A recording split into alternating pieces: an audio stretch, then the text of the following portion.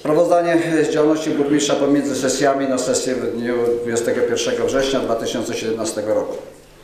Gmina miasta Sanoka była zmuszona unieważnić pierwszy przetarg na budowę dworca multimodalnego w Sanoku, ponieważ przeznaczona w budżecie na tę inwestycję kwota jest niższa niż najniższa z ofert, jakie zostały złożone w toku procedury. Ponadto jako samorząd gospodarujący publicznymi pieniędzmi chcemy mieć pewność, że zaproponowane ceny nie odbiegają od średniego poziomu cen rynkowych na tego typu usługi. Jesteśmy przekonani, że oferenci przystępujący do kolejnego przetargu złożą bardzo przemyślane oferty i będziemy mogli rozstrzygnąć procedurę z korzyścią zarówno dla wybranego przedsiębiorcy, jak i dla mieszkańców miasta i podróżnych odwiedzających Sanok. Termin wykonania tej inwestycji 30 październik 2018 roku w żaden sposób nie jest zagrożony. Jednocześnie ogłosiliśmy przetarg na zakup przez Sanockie Przedsiębiorstwo Gospodarki Komunalnej w Sanoku 11 autobusów niskoemisyjnych, w tym 8 gazowych i 3 na olej napędowy. Jak Państwo dobrze wiecie, dworzec będzie usytuowany w miejscu aktualnie istniejącego, co przy remoncie ulicy Lipińskiego na ten cel Generalna Dyrekcja Dróg Krajowych i Autostrad przeznaczyła 4,5 miliona złotych, rozwiąże problemy komunikacyjne wszystkich przewoźników na terenie miasta Sanoka. Najwyższy czas, abyśmy zapomnieli o poprzedniej lokalizacji, gdzie sama droga śródmiejska miała kosztować 11 milionów złotych. Na sesji 20 sierpnia powiedziałem o sprzeniewierzeniu kwoty 400 tysięcy złotych przez MOPS w Sanoku. Przewodniczący Rady otrzymał skargę na moją wypowiedź i podanie nieprawdziwej informacji oraz obarczanie tym faktem poprzedników. Ze skargi tej osoba wycofała się, mówiąc, że to nie ona ją pisała. Skarga ta była podpisana imieniem i nazwiskiem oraz wskazywała adres osoby. Informuję, że nieprawidłowości w zakresie pozyskiwania należności budżetowych z tytułu płatności za świadczone usługi opiekuńcze według stanu na 31 grudzień 2014 roku wynosiły 452 133 zł. Należności za lata 2007-2012 na kwotę 327 294 zł i 34 grosze są należnościami przedawnionymi i niemożliwymi do odzyskania. Podjęte działania doprowadziły do ściągnięcia należności za lata 2013-2014 w wysokości 69 tysięcy złotych. Obecnie MOPS na bieżąco monitoruje terminowość wpłat za usługi i podejmuje odpowiednie działania. W 2015 roku dyrektor MOPS skierował w sprawie nieściągniętych należności powiadomienie do prokuratury, a w 2016 roku zawiadomienie do Rzecznika Dyscypliny Finansów Publicznych. Budżet miasta stracił, jeszcze raz powtarzam, 327 294 zł i 34 grosze. W ostatnim okresie otrzymałem kilka interwencji, według których są wysokie ceny za dostarczaną wodę i odbierane ścieki w Sanoku. Informuję wszystkich Państwa, że cena w momencie objęcia przeze mnie stanowiska funkcji burmistrza miasta Sanoka została obniżona o prawie 2 zł i będzie jeszcze bardziej obniżana. Informuję, że w 2014 roku cena jednego metra sześciennego ścieków Sanoku, wody i ścieków Sanoku wynosiła 14,65 zł. Nie można było zmienić tych cen na 2015 rok ze względu na to, że poprzednia Rada Miasta w obowiązujących terminach nie rozpatrzyła i nie podjęła działań związanych z nowymi taryfami cenowymi. Takie działania podjęliśmy na 2016 rok, gdzie cena została zmieniona z 14,65 na 13,92 oraz na 2017 rok, gdzie z kolei cena została zmniejszona na 12,80. Na pewno cena ta ulegnie zmianie również na 2018 rok. Jestem po wstępnych rozmowach z panem prezesem Sanockiego Przedsiębiorstwa Gospodarki Komunalnej i wierzę, że ta cena będzie poniżej 12 zł. Jeżeli Rada taką cenę przyjmie i przedstawione zostaną w odpowiednich terminach taryfy. Samorządy cenę podnoszą, my obniżamy. Bardzo proszę o nieszerzenie nieprawdziwych informacji, że cena w Sanoku rośnie. Spotkałem się między innymi z przedstawicielami y, terenu gminy Uszczyk i innych i w tym momencie oni właściwie już mają podobną cenę jak my mamy cenę. My obniżamy, większość samorządów tą cenę podwyższa. W związku z reformą oświatową miasto pozyskało z Ministerstwa Edukacji Narodowej 175 200 zł, które zostały przeznaczone na szkoły podstawowe numer 8 i 9, to jest dawne gimnazjum numer 2 i 4. Jednocześnie z własnych środków przeznaczyliśmy prawie 500 tysięcy złotych na utworzenie dodatkowych oddziałów przedszkolnych w budynku dotychczasowego gimnazjum numer 1. Pozwoli to na przyjęcie wszystkich chętnych dzieci do przedszkola oraz przeniesienie dzieci z oddziałów przedszkolnych ze szkoły podstawowej numer 1 oraz ze żłobka na ulicy Podgórze. Docelowo chcemy przeznaczyć adoptowane gimnazjum całościowo na oddziały przedszkolne i żłobkowe. Warunki ku temu są optymalne. Na skutek reformy oświatowej nie został zwolniony żaden nauczyciel ani pracownik administracji. Powtarzam jeszcze raz, bo też chodzą takie informacje. Mówię autorytatywnie, y, na skutek reformy y, oświaty nie został zwolniony żaden nauczyciel ani żaden pracownik administracji. Kilku nauczycieli uzupełnia etaty w drugiej placówce.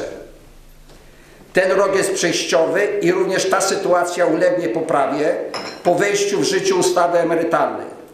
Dziewięciu nauczycieli i trzech pracowników przeszło na emeryturę.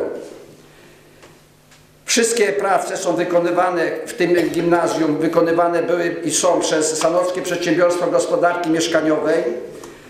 Ze względu na to, że uruchomienie przetargu na te prace znacznie opóźniłyby terminowe jej wykonanie, jak również ze względu na okres prac mógłby, mogłoby to skutkować niezgłoszeniem się żadnej firmy do takiego przetargu, co mamy dowody chociażby przy termomodernizacji obiektów budynków komunalnych, gdzie pierwszy przetarg nie zgłosił się nikt, musieliśmy to zadanie podzielić i w tym momencie mamy termomodernizację budynków komunalnych na ulicy Orzeszkowej 2 i 2A.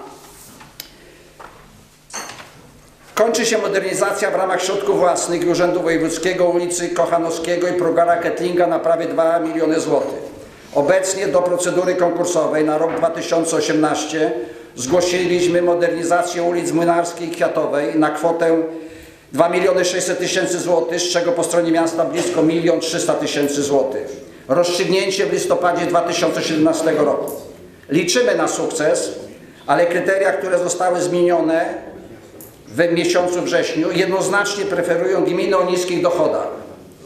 Ale mam nadzieję, że otrzymamy tyle punktów, że będziemy na liście e, przeznaczonej do dofinansowania z Urzędu e, Wojewódzkiego. 50 na 50.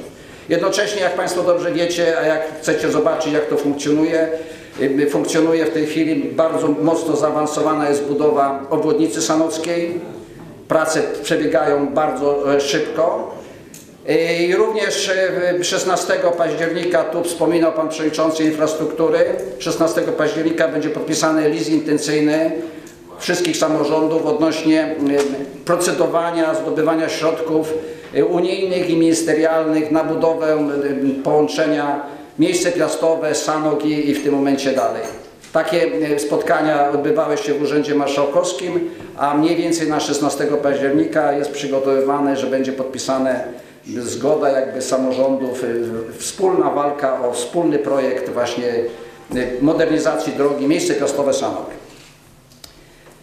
W dniu 30 sierpnia 2017 roku na stadionie Wierchy nastąpiło oficjalne zamknięcie pierwszego etapu prac termomodernizacji i modernizacji trybuny głównej. W trakcie wydarzenia po raz pierwszy został zaprezentowany film pod tytułem Wierchy 2017, przedstawiający pełną dokumentację prac poczynionych na tym obiekcie. Krótki zwiastun filmu Wierchy 2017 do tej pory można obejrzeć na naszej stronie internetowej oraz na innych sanockich portalach. Jakie środki zostały do tej pory przekazane do e, modernizacji tego obiektu?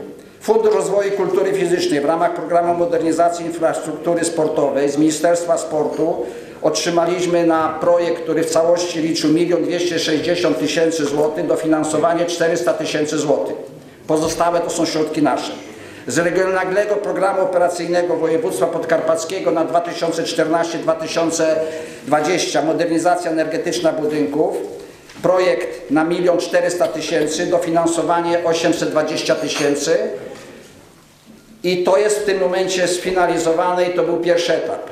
W ramach tegorocznej edycji Programu Rozwoju Infrastruktury Lekatycznej Ministerstwo Sportu i Turystyki dofinansuje budowę kompleksu lekatycznego na Sanockich Wierchach. Otrzymaliśmy 1,5 miliona złotych na budowę bieżni tartanowej. W dniu wczorajszym yy, podpisaliśmy umowę na te środki.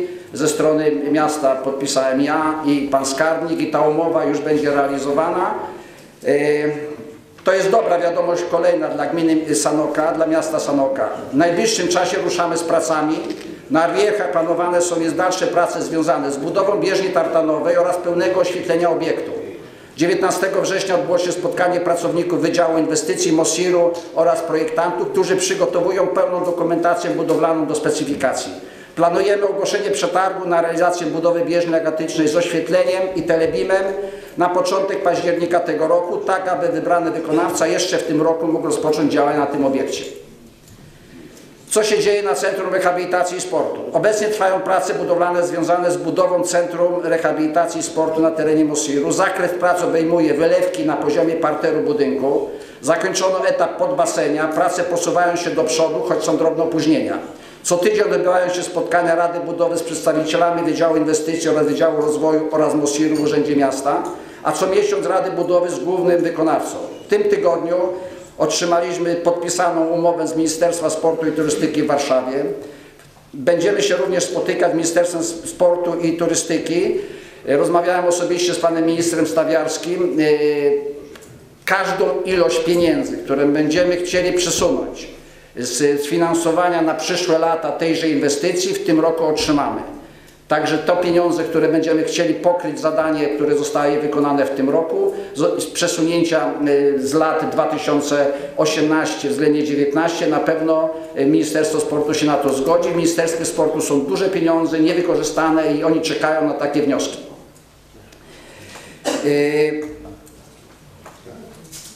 Planowane są dalsze zabezpieczenia finansowe realizowanej inwestycji. Mamy dodatkowe możliwości pozyskania środków finansowych na jej realizację. Spotykałem się z Pefronem, z panem dyrektorem, spotykałem się z dyrektorem ROPS-u. Mamy swoją wizję funkcjonowania. Pamiętamy również o tym projekcie transgranicznym Polska-Białoruś-Ukraina i na pewno z tych różnych instytucji będziemy chcieli, aby ten montaż finansowy na tą inwestycję był jak najbardziej korzystny. Proszę Państwa, chciałem się odnieść, bo dość dużo ostatnio jest takiej jakby przychodzi informacji, takiej jakby nie do końca sprawdzonej odnośnie budowy, modernizacji drogi, która się nazywa Polna. Historia przebudowy ulicy Polnej sięga roku 2014 i wiązała się z planowaną w ówczesnym czasie drogą śródmiejską. Dlaczego o tym mówię? Dlatego, że mam bardzo dużo skarg na, na działania, na, na, jakość tej budowy w tym momencie, że to się przedłuża, różne tematy tutaj do mnie docierają. W związku z tym chciałbym tak naprawdę na tym etapie wyjaśnić. Była planowana wtedy ówczesna czasie droga śródmiejska, która miała kosztować 11 milionów, w tym co najmniej 50% środków miało wydatkować miasto i miała doprowadzać do projektowanego dworca multimodalnego. Ze względu na powyższe zmiany oraz niewyrażeniem zgody właścicieli jednej z działek na wejście w teren ich działki, i wykonanie robót budowlanych polegających na budowie sieci kanalizacyjnej została podjęta decyzja o przeprojektowaniu sieci kanalizacji sanitarnej i zmianie podłączenia jej z istniejącą siecią. Się to ze, wiązało się to ze zmianą istniejącej dokumentacji projektowej i uzyskania nowych prawomocnych zgłoszeń budowy. Przepompownia ścieków oraz rurociąg tłoczny wzdłuż ulicy Polnej został wymuszony brakiem zgody właścicieli jednej z działek. Prawomocne zgłoszenie budowy na odcinek sieci kanalizacji sanitarnej, grawitacyjnej i rurociągu tłocznego oraz przepompowni ścieków sanitarnych uzyskano w dniu 28 września 2016 roku. Po uzyskaniu prawomocnego zgłoszenia budowy na odcinek sieci kanalizacji sanitarnej wzdłuż ulicy Szkolnej w dniu 17, 7 listopada gmina miasta Sanoka przystąpiła do realizacji budowy wyżej wymienionego odcinka. Do końca grudnia 2016 roku zlecenie gminy miasta Sanoka, Sanockie Przedsiębiorstwo Gospodarki Komunalnej wykonało odcinek y, sieci kanalizacji sanitarnej przy ulicy Szkolnej na kwotę 51 tysięcy brutto. W roku 2017 Sanockie Przedsiębiorstwo Gospodarki Komunalnej wykonało odcinek sieci kanalizacji sanitarnej grawitacyjnej oraz rurociąg tłoczny z ulicy Polnej oraz przepompownię ścieków wraz z przyłączem energetycznym. Budowa kolektora grawitacyjnego i tłocznego sieci kanalizacji sanitarnej wzdłuż ulicy Polnej kosztowała 215 tysięcy złotych ze względu na potrzebę wykonania głębokich wykopów sięgających 5 metrów głębokości oraz potrzebę stabilizacji tych wykopów. Przepompownia ścieków kosztowała 80 tysięcy złotych. Zadanie zostało sfinansowane ze środków przeznaczonych na inwestycje Sanockiego Przedsiębiorstwa Gospodarki Komunalnej Spółka z ograniczoną odpowiedzialnością.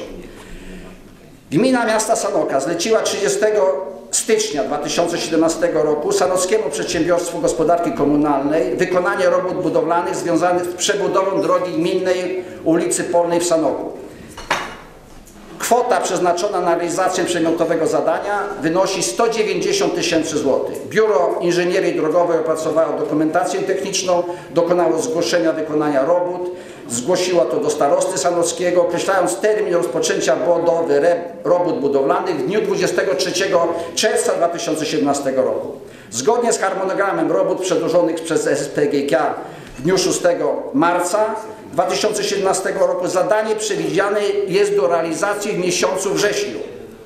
Termin ten ustalono w oparciu o czas potrzebny na tak zwane osiadanie gruntu po wykonaniu głębokich wykopów przy wykonywaniu kanalizacji sanitarnej. Zakres prac obejmuje wykonanie nawierzchni z betonu asfaltowego na odcinku drogi pomiędzy ulicą Słowackiego i ulicą Śniegową. Proszę się nie obawiać, ta droga zostanie zrobiona na pewno w tym roku. Jednocześnie szerokość jezdni dwujezdniowej wynosi 4,5-5 metrów. Ze względu na wąski pas drogowy wynoszący 4,5 metra w najwyższym odcinku nie ma możliwości wykonania tam chodnika i chodnika tam nie może być i nie będzie. Tyle tytułem wyjaśnienia, bo ostatnio bardzo dużo pism w tym temacie przychodzi i różnych komentarzy jest od- odnośnie do ulicy Polnej. Budżet, obywatelski 2017. Zgodnie z harmonogramem konsultacji do budżetu obywatelskiego w dniach od 1 sierpnia do 31 sierpnia mieszkańcy miasta składali formularze z propozycjami zadań. Projekty można było składać w tradycyjnej formie papierowej lub formie elektronicznej poprzez specjalną aplikację uruchomioną na stronie internetowej miasta. Łącznie złożono 25 projektów dzielnicowych, w tym Błonie 3, Dąbrówka 4, Olchowce 5, Posada 2, Śródmieście 3, Wójtostwo 4, Zatorze 4. Z dniem 4 września rozpoczął pracę zespół do budżetu obywatelskiego, którego zadaniem była weryfikacja możliwości realizacji złożonych projektów. Zespół do dokonania analizy postanowił odrzucić trzy projekty ze względu na status działek, na których miały być realizowane te zadania. Przyjąć 22 projekty dalszego etapu, to jest głosowania, w tym trzy projekty warunkowo, zaznaczając, że ich realizacja będzie możliwa do wysokości kwoty przyjętej uchwałą Rady Miasta. Przypominam, że y, projekt, na projekty w każdej dzielnicy została przeznaczona kwota 60 tysięcy złotych, czyli w sumie 420 tysięcy na 7 dzielnic. Pełny wykaz zadań odrzuconych i przyjętych zostanie zamieszczony na stronie internetowej miasta oraz na stronach aplikacji elektronicznej. W najbliższym czasie zostanie także opublikowane i upowszechnione obwieszczenie burmistrza miasta dotyczące terminu głosowania. Te miejsca na pewno są o wiele więcej, tych miejsc jest do głosowania. Pamiętacie Państwo, że uchwałą było podejmowane, że i w bibliotece, i na terenie Mosiru, i, i w urzędzie, i tych punktów jest troszeczkę więcej. Liczymy na mocne zaangażowanie mieszkańców poszczególnych dzieli, dzielnic.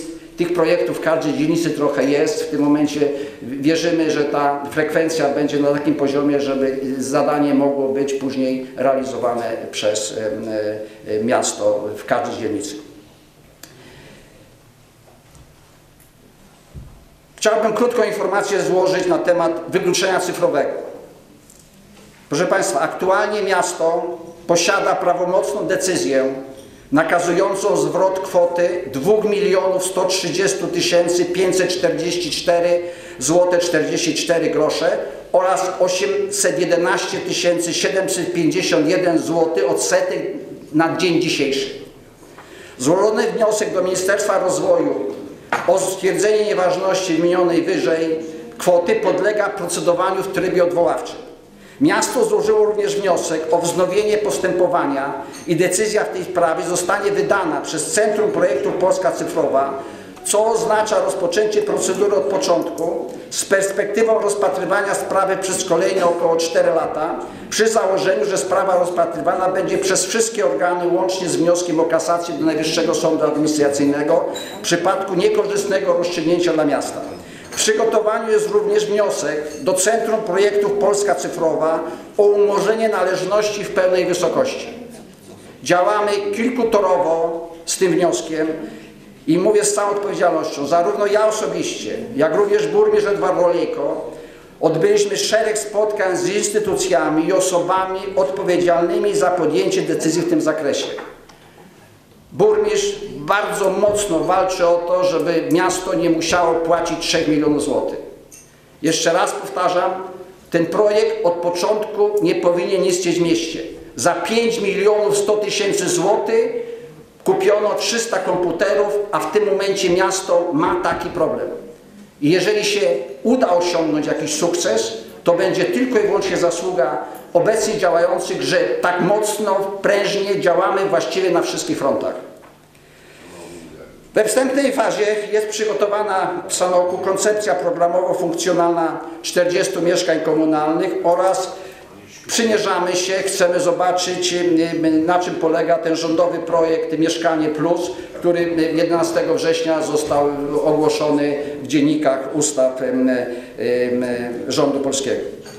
W bieżących sprawach spotkałem się z marszałkiem województwa Władysławem Ortylem, z wicemarszałkiem panią Marią Kurowską, ze starostem sanockim panem Romanem Koniecznym, z ministrem Jarosławem Stawiarskim, ministrem sportu Jarosławem Stawiarskim, dyrektorem szpitala Henrykiem Przybycieniem, posłem Piotrem Muruskim, posłem Krystyną Wróblewską, z panią Czesławą Kura, z komendantem policji Andrzejem Stępniem, prezesem Autosanu Michałem Stachurą, wojskowym komendem uzupełnień Dariuszem Brzeżawskim, komendantem Państwowej Straży Pożarnej Krzysztofem Dżuganem, dyrektorem Departamentu Urzędu Marszałkowskiego Województwa Podkarpackiego Ochrony Środowiska Andrzejem Kuligiem, dyrektorem ROP Rzeszów Jerzym Jęczmionką, dyrektorem PFRON-u Maciejem Szymańskim, dyrektorem Okręgowym Więziennictwa w Rzeszowie Markiem Grabkiem, przedstawicielami stowarzyszeń i klubów sportowych, działaczami, trenerami towarzystw sportowych Łukaszem Łagoźnym, prezesem Karpat Bud Tomaszem Polkiem, dyrektorami, prezesami podległych miastu instytucji, dyrektorami szkół, przedszkoli, żłobków.